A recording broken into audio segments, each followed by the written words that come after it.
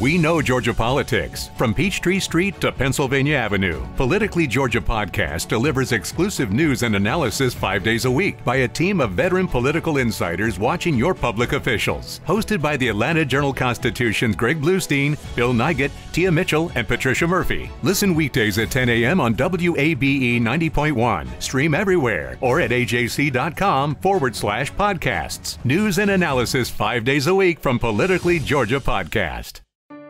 Did you miss your deadline to renew your Medicaid coverage? You can still send your completed annual review form to Healthy Connections Medicaid. You may be assigned to another health plan, but you can ask to come back to First Choice within 60 days of renewed Medicaid eligibility. It's your family. It's your choice. First Choice is the right choice. Renew and choose us. Visit selecthealthofsc.com slash renew to learn more. 7 millones de dólares a la economía mundial. Toda vez que existen riesgos. Más del 90% son MIPYMES, que generan 80% de... Dame 20 minutos de tu tiempo y yo a cambio te daré información sobre los temas más relevantes en materia de comercio exterior, fiscal y aduanas con un toque humano. Y hagamos un trueque, un podcast de TLC Magazine México. Hola, ¿cómo están? Buenas tardes. Eh, al evento número 69 de TLC Magazine en Hagamos un Trueque.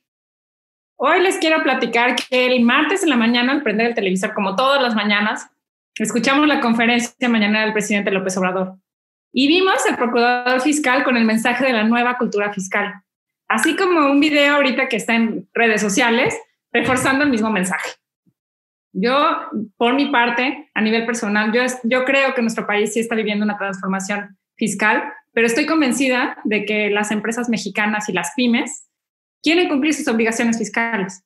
Sin embargo, sí es importante incrementar las acciones y revisiones para alinearnos al cambio de la cultura tributaria. ¿Quién mejor para hablarnos de este tema, del, que nos explique la nueva cultura fiscal que el Procurador Fiscal Federal Carlos Romero Aranda? Que déjenme platicarles que fue de los primeros jefes de Octavio, así que él dice que lo inspiró para la cultura de cumplimiento fiscal. Bienvenido, Carlos, ¿cómo estás? Qué gusto saludarte, muchas gracias por la invitación y pues como siempre es un, un honor estar con ustedes. Es un honor tenerte aquí, en verdad. Y antes que de cederte la palabra, me gustaría que el presidente de la Confederación de Cámaras Nacionales de Servicio y Turismo, con Canaco Servitur, José Manuel López Campos, eh, le tenemos mucho cariño y Octavio lo considera su mentor, nos extiende unas palabras de bienvenida. Adelante, José Manuel. El, me comenta eh, que ahorita se va a incorporar con nosotros, Daniela. Ok, perfecto. Va a incorporarse con nosotros, está terminando una pequeña reunión, pero me pide el presidente que te extienda un eh, agradecimiento. Finalmente se incorpora en un momento porque tenía varias dudas, eh, Carlos, que traía varias preguntas que quería realizar. No, si quieres continuamos, Daniela. Bueno, antes de continuar, me gustaría poder leer la semblanza del Procurador Fiscal Federal, Carlos Romero Aranda. Él es egresado de la licenciatura en Derecho por el Centro Universitario México. Es maestro en Derecho Fiscal por la Universidad Panamericana y cuenta con estudios de doctorado en Derecho Fiscal por la misma Casa de Estudios. Asimismo, cuenta con estudios de doctorado en Derecho Tributario por la Universidad de Salamanca, España. Se ha desempeñado como abogado postulante en litigio fiscal y administrativo desde 1995. En 1999 se incorporó a la Secretaría de Hacienda y Crédito Público como director de amparos contra leyes en la Procuraduría Fiscal de la Federación. Realizó la práctica en el sector privado desde el año 2002 hasta noviembre de 2018. Actualmente, él es procurador fiscal de la Federación de la Secretaría de Hacienda y Crédito Público. Bienvenido, la verdad estamos ansiosos por tu plática Muchísimas gracias por estar con nosotros. Dame un segundo, Daniela. El presidente se está incorporando. No sé si podamos este, habilitar el micrófono al presidente José Manuel López Campos, por favor. Bueno, en lo que lo habilitan, déjame, déjenme platicarles que el día de hoy estamos conectados de toda la República Mexicana. Veo algunos mensajes de Quintana Roo, veo algunas personas de Mérida también. Me da mucho gusto de Tapachula, de Oaxaca. Espero que todos en Oaxaca también estén bien. Eh, Muchísimas gracias por acompañarnos. Monterrey también por aquí me están diciendo. Guadalajara. ya se encuentra nuestro presidente, ¿no? Ya tiene, puede habilitar su micrófono, presidente, por favor. Adelante, presidente. Hola, muy buenas tardes a todos. Eh, es la gran ventaja de estas plataformas tecnológicas que nos permiten estar conectados desde Tijuana hasta Mérida y pasando por toda la República. Es un gran honor estar en esta mesa en la que virtual, en la que hoy está nuestro amigo Carlos Romero, procurador fiscal de la Federación.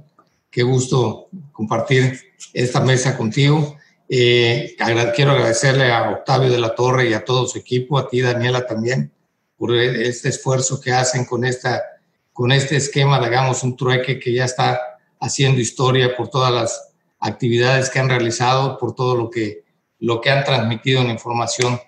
A pesar de las contingencias, ustedes han mantenido un ritmo hasta más intenso del que se tenía en el periodo normal y creo que para todas las empresas es importantísimo la capacitación, es importante, muy importante poder innovar con, mayor conocimiento y ustedes están contribuyendo grandemente a esto, especialmente en materia tributaria, en materia aduanera y en materia fiscal.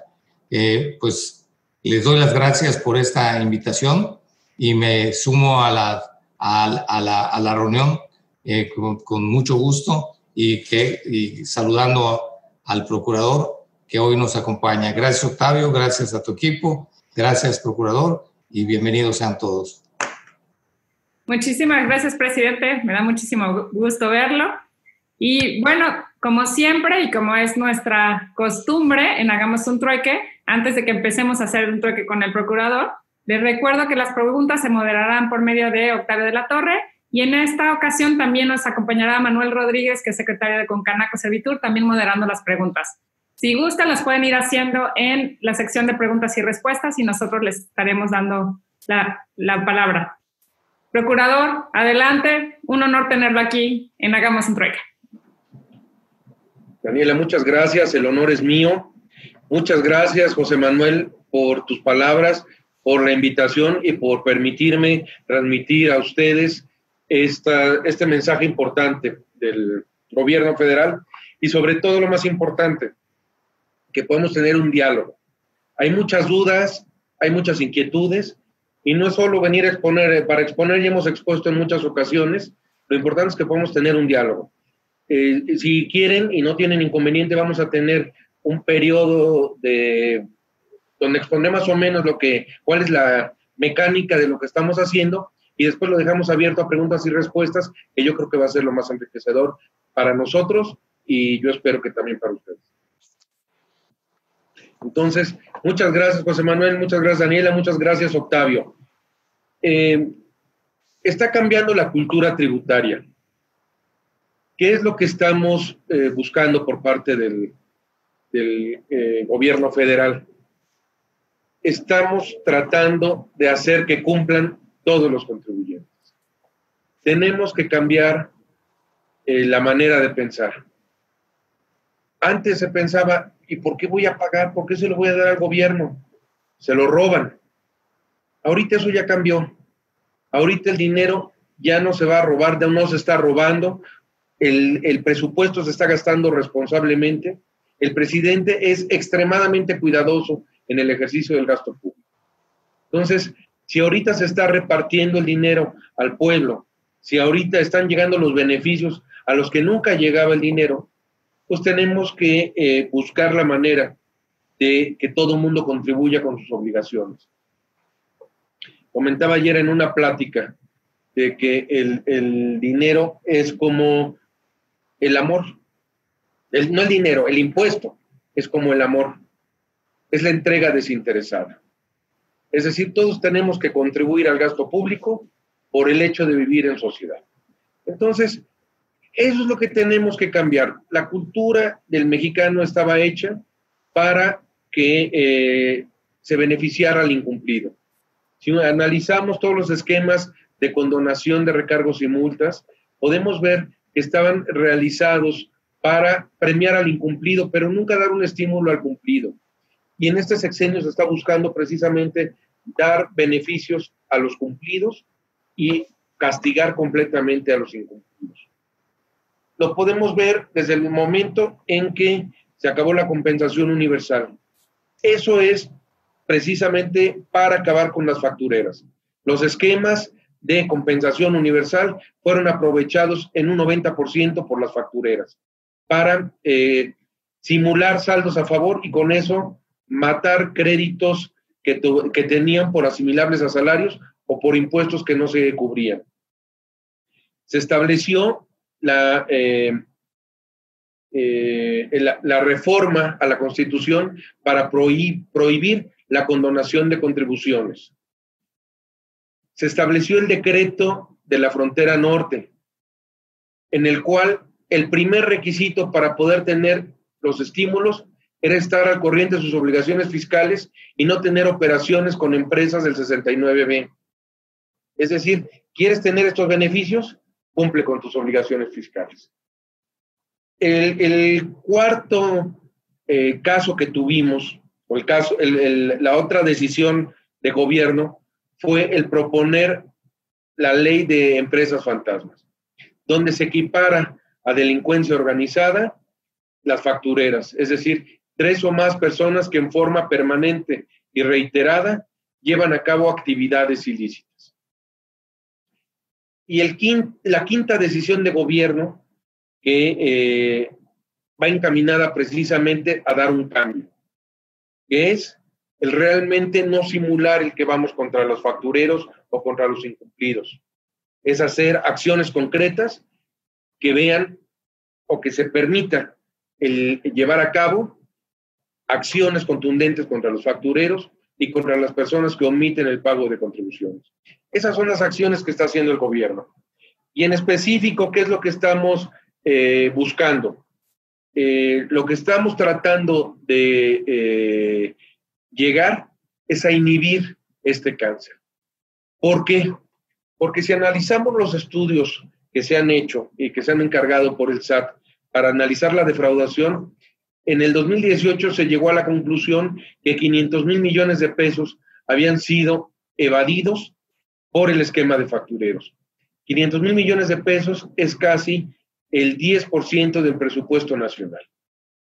Si ahorita ese dinero estuviera en las arcas públicas, tendríamos todos los servicios de salud cubiertos. ¿Cuántos hospitales tendríamos? No tendríamos problemas en la economía. El hecho de que no esté ese dinero en las arcas públicas es, genera realmente problemas en, nuestra economía nacional. Entonces, sí había que dar una vuelta del timón, sí había que tener acciones concretas contra factureros. Infiltraron a las eh, autoridades fiscales. Los factureros y la gente que operaba del lado del mal llegó a colocar en puestos clave a personas que protegían a los factureros. No se puede entender de otra manera si no hubiera eh, domicilios fiscales donde hay 200 empresas, 200 empresas constituidas por personas de escasos recursos, por testaferros, en domicilios fiscales donde solo hay eh, terrenos baldíos o viviendas de escasos recursos, donde eh, esas empresas pasan cantidades millonarias de flujo. Y por otro lado, no se puede entender tampoco en cuentas de banco o en sucursales bancarias donde hacen retiros multimillonarios de dinero y muchas veces ni siquiera eran reportados a las autoridades competentes.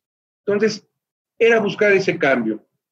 Eh, se buscó también, y, directamente instruido por el presidente de la República, hacer que los contribuyentes grandes cubran debidamente con sus obligaciones fiscales. Y por eso se, se inició una campaña para hacer que los contribuyentes que tenían planaciones fiscales defraudatorias cumplieran y se presentaron querellas eh, en contra de ellos. la mayoría han regularizado su situación fiscal y estamos trabajando en los acuerdos reparatorios respectivos.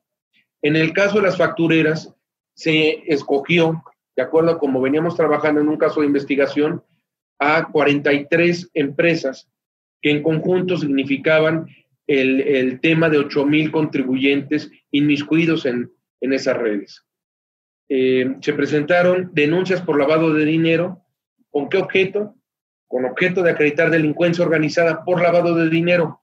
Quiero hacer mención que eh, el ejercicio revisado o el que estamos hablando es 2017. Entonces todavía no aplica delincuencia organizada para defraudación fiscal. Entonces nos fuimos por lavado de dinero, presentamos querellas por defraudación fiscal y vamos a tratar de acreditar la delincuencia organizada. ¿Por qué la delincuencia organizada? Porque con delincuencia organizada nos va a permitir tener infiltrados en las organizaciones criminales, es decir, un plano de igualdad. Ellos infiltraron a las autoridades fiscales, ahora legalmente vamos a eh, eh, infiltrar a las redes criminales. Vamos a tener eh, escuchas. Con autorización del juez podemos tener escuchas de, estos grupos criminales. Podemos tener criterios de oportunidad. Es decir, testigos protegidos que a cambio de que den información de las cabezas del grupo delictivo puedan colaborar con la autoridad. Eh, sabemos que estos grupos manejan cantidades fuertes de efectivo y que los tienen en casas de seguridad o que las tienen en, bóvedas. Vamos a solicitar cateos. Y todo esto con prisión preventiva oficiosa. Estas penas por delincuencia organizada van arriba de 16 años de cárcel. Los bienes que se lleguen a incautar a estos factureros, solicitaremos la ley de extinción de dominio para quitarle los bienes. Queremos desactivar a estos grupos que no son contribuyentes, son delincuentes. Y por el otro lado, partiendo de un principio de buena fe, respetando la garantía de audiencia, respetando el principio de presunción de inocencia, eh, se va a dar un plazo de tres meses para que regularicen su situación fiscal. Es decir, todos los que compraron facturas a este grupo van a tener un, eh, requerimiento o un exhorto que va a llegar a su domicilio o a su buzón tributario, donde se les va a dar la oportunidad que en el plazo de tres meses regularicen su situación fiscal. Es decir, que le quiten los efectos fiscales a los comprobantes que adquirieron y contribuyan con, los pagos que dejaron de hacer. O los que tuvieron asimilables a salarios, honorarios asimilables a salarios, que les pagaron por vía de factureras. Van a tener que pagar el 35% de la contribución omitida. Entonces, más bien, la contribución omitiva, omitida consistente en el 35% de la cantidad que recibieron. Eh, esto es lo que, lo que vamos a hacer, pero al día tres meses y un día, a todos los que no se regularizaron, vamos a presentar querellas para acreditar precisamente que no fue un error del contador, que no fue una, eh, una inquietud o fue una, un descuido del contribuyente, que realmente sí hubo un contubernio entre el que compró la factura y el que la vendió, es decir, un pacto criminal, y por lo tanto vamos a presentar las querellas por defraudación fiscal y posiblemente podemos acreditar la delincuencia organizada con ese pacto criminal. Entonces, el exhorto que yo hago en esos casos es a que paguen sus obligaciones, las obligaciones fiscales que tienen pendientes. A todos los que compraron facturas, que paguen. El gobierno federal no está jugando. Esto es 2017. Para 2020 tenemos prisión preventiva oficiosa y tenemos hasta 13 años y medio de cárcel al eh, contribuyente que cometa un delito fiscal grave. Es decir, el que con uso de engaños o aprovechamiento de errores omita total o parcialmente el pago de una contribución, pero que eh, tenga documentos falsos, que tengan datos falsos para obtener devoluciones, acreditamientos, eh, compensaciones a los que omitan enterar retenciones y los que declaren pérdidas fiscales inexistentes. Si a esos que cometan esa irregularidad y omiten 7.8 millones de pesos, van a tener prisión preventiva oficiosa. Es decir, los que estén en este supuesto y que compren facturas podrán tener prisión preventiva oficiosa. No hay que jugar. Aquí tenemos que cumplir con nuestras obligaciones fiscales. La defraudación fiscal se convirtió en el deporte nacional. Nosotros queremos que el deporte nacional sea el béisbol, que es el fútbol, pero no la defraudación fiscal. Nuestra obligación va a ser demostrar que hay un pacto criminal y que no hay un crimen perfecto. En todo crimen se cometen errores y precisamente en estos crímenes hay huellas del delito.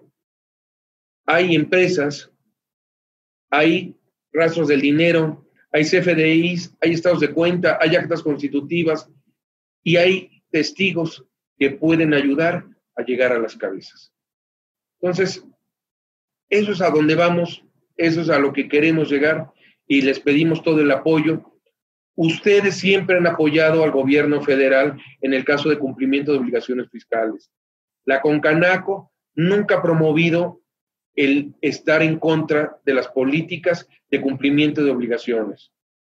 Nosotros apoyamos la política que ha manejado José Manuel López Campos en cuanto al cumplimiento de obligaciones fiscales. ¿Qué es lo que buscamos? Piso parejo. Un, un, empresario establecido, ¿cómo puede competir con alguien que no paga impuestos? ¿Cómo puede competir con alguien que no cumple con sus obligaciones laborales y que no cumple con presentar eh, o con, el pago de obligaciones eh, del seguro social o que no cumple debidamente con sus trabajadores? ¿Cómo puede un empresario formalmente establecido competir con eso? ¿Qué es lo que queremos? Eliminar esas prácticas y que sea un piso parejo. El que haya certeza, el que haya certidumbre para el inversionista. Alguien mencionaba por ahí que esto era terrorismo fiscal. Yo me pregunto cómo le pueden llamar terrorismo fiscal cuando lo que estamos pidiendo es el cumplimiento de la ley. ¿Qué cuestión más certera puede haber para alguien que va a invertir que el que se cumplan con lo que dice la ley. No queremos defraudaciones fiscales agresivas, es decir, de, eh, defraudatorias. La, la planeación fiscal es el minimizar la, la carga tributaria, pero dentro del margen de la ley. No podemos permitir eh, defraudaciones que realmente son burdas, que realmente no paguen. Esos no son defraudaciones, esos son robo a la nación, para decirlo coloquialmente. Nosotros pedimos el apoyo y me queda claro, ustedes no son parte del problema, pero sí son parte de la solución. Queremos que nos ayuden. La autoridad no puede sola. Tenemos elementos, tenemos herramientas de trabajo, pero si no contamos con el apoyo del pueblo, con el apoyo de la gente, que nos ayude eh, a seguir adelante en esta eh, guerra contra la corrupción y contra eh, la defraudación fiscal, es difícil poder llegar a los objetivos. Esta pelea contra la defraudación fiscal y sobre todo contra los factureros es realmente la guerra contra la corrupción. Las factureras, en su mayoría, se utilizaban para desviar recursos públicos la famosa estafa maestra. ¿Cuántos desvíos de dinero hubo por esos conceptos? Y si no era el desvío de recursos públicos, era el pago de moches, o era los, eh, como se lavaba el dinero de, de la corrupción. Esa es la guerra contra la corrupción, contra la defraudación.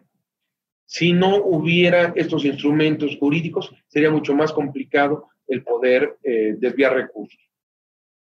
Nosotros tenemos que pelear con eso hacia afuera y hacia adentro. Tenemos que revisar perfectamente, y es en lo que estamos trabajando, de que no haya desvíos de recursos públicos. Por supuesto que quien eh, consumía el mayor producto de eh, facturas falsas en el pasado era el gobierno, era la manera como desviaban los recursos.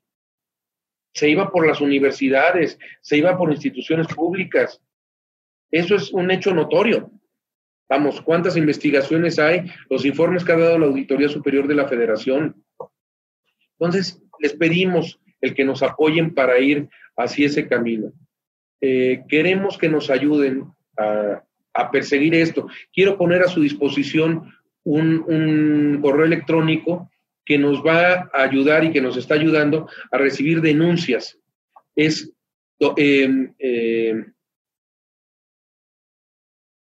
Ahorita les doy el nombre, ahorita me lo van a pasar. es eh, denuncias, perdón, denuncias guion bajo PFF, denuncias guion bajo PFF, eh, arroba hacienda.gov.mx. Denuncias guion bajo PFF, arroba hacienda.gov.mx. Puede ser denuncia anónima, puede ser con un nombre. De toda denuncia que nosotros recibimos, iniciamos un procedimiento de investigación. Si está en nuestras facultades investigarlo, lo hacemos nosotros.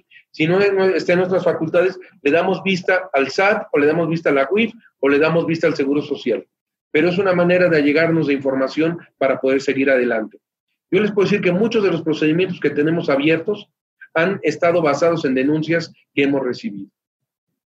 Entonces es la manera como pedimos que nos puedan ayudar, que nos puedan apoyar. Eh, yo creo que eh, si hacemos esto, podemos llegar a eh, un buen término y poder elevar la recaudación. El secretario de Hacienda siempre menciona que estamos recaudando el 13%, cuando el promedio de la OCDE es de el, 34%. Esta es una de las formas que tenemos para elevar la recaudación, haciendo que no haya eh, planeaciones fiscales defraudatorias y atacando a los factureros y a la defraudación fiscal tal cual. Entonces, eso es lo que pedimos. Eh, también dentro de los temas que no están en esta mesa que estamos tratando esta semana, pero que también es un tema muy importante para nosotros, es atacar a, las factureras, pero que tienen que ver con outsourcing. Es decir, todas empresas de, eh, de tercerización que no cumplen con sus obligaciones fiscales y de seguridad social, perjudicando completamente tanto a los trabajadores como a los patrones. Y es el mismo esquema. En ese equipo de trabajo está metido el IMSS, el Infonavit, el SAT, la UIF y la eh, Procuraduría Fiscal de la Federación. Y vamos a tener también algunas querellas presentadas pronto y algunos resultados. Entonces, eh, quiero comentar, estos procedimientos no son de un día para otro. Son procedimientos que nos pueden llevar eh, a veces muchos meses en instaurarlos, en poderlos eh, iniciar y encauzar. Es el dominio público, algunos nombres de factureros. Nuestro trabajo consiste en poder llevar a cabo las investigaciones para poder llegar a esas cabezas.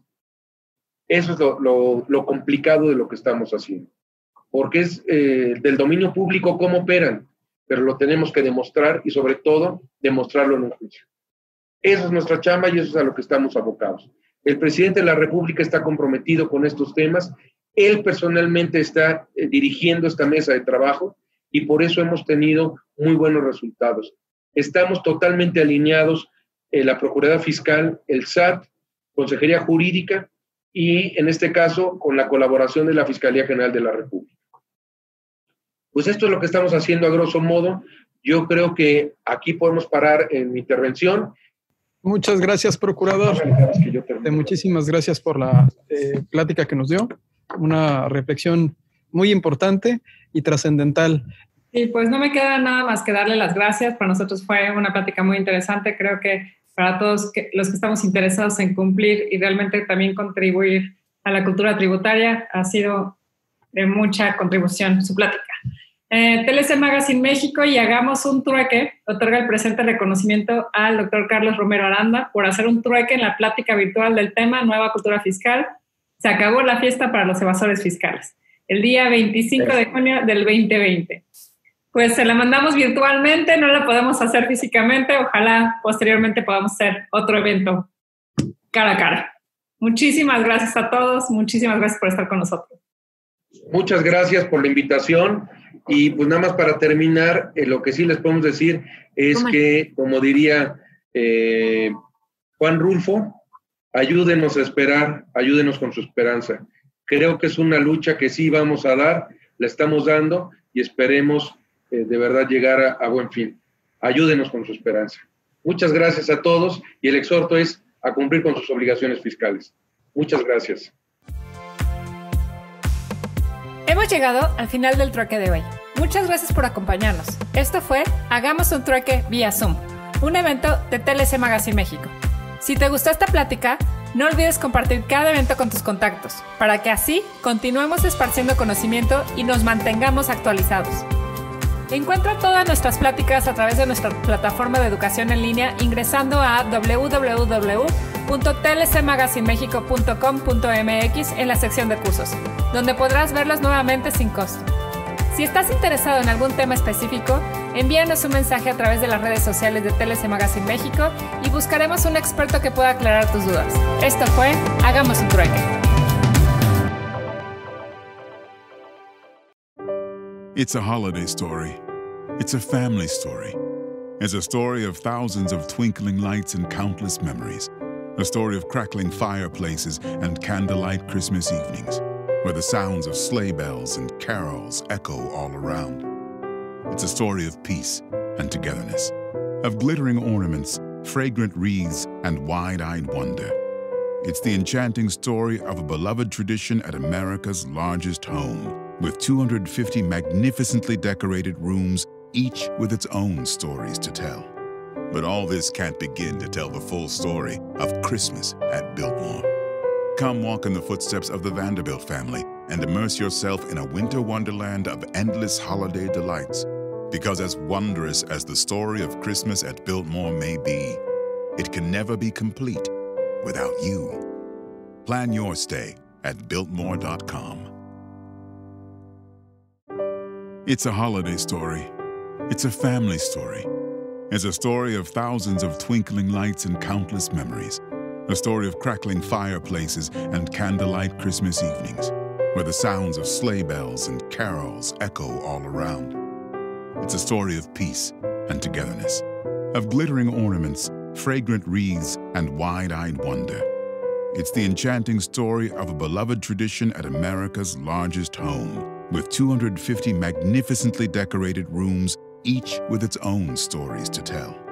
But all this can't begin to tell the full story of Christmas at Biltmore.